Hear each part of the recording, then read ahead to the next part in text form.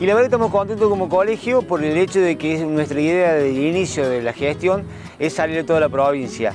Eh, es la primera vez que venimos a Rosario para un tema de capacitación y bueno, también es la primera vez casualmente que hacemos algo para grandes animales, porque hasta ahora hemos hecho todo lo que es pequeños animales y esta es la primera vez que vamos a salir para grandes animales. Algo que lo vemos que el colegio veterinario ha crecido muchísimo el matriculado que se dedica exclusivamente a campo. Entonces creemos que es un tema que es para ahondar cada día que pase un poco más. Ante enfermedades que son muy importantes, muy importantes. Así que bueno, eh, hemos traído un gran disertante que ya seguramente van a hacer una nota.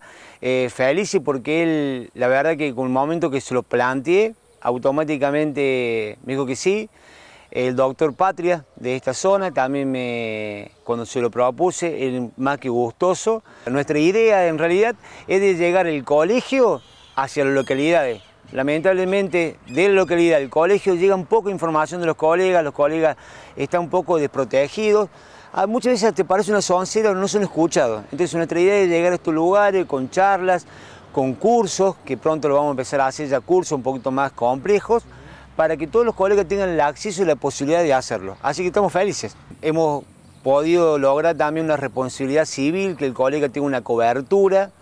Hemos, estamos trabajando fuertemente en un centro de recreación que estaba del colegio, ahora hay que reabrirlo. Y bueno, un montón de cuestiones eh, que van en beneficio del colega. Nuestra idea puntual es que el colega que viene pagando la cuota tenga todos los beneficios habidos por haber, ojalá se puedan dar todos los proyectos que tenemos.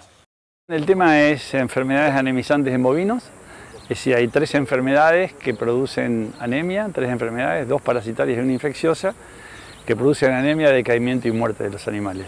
Eh, lo más importante es que tiene relación con los vectores, eh, los, vectores los vectores mecánicos, que son en el verano, lo que es noviembre a marzo, y también por las agujas en las vacunaciones masivas y ahí se contagian. ¿sí? Uno es una bacteria que es anaplasma, otro es, o dos son parásitos, uno parecido al Chagas, se llama tripanosoma, Chagas humano, y otro se llama babesia.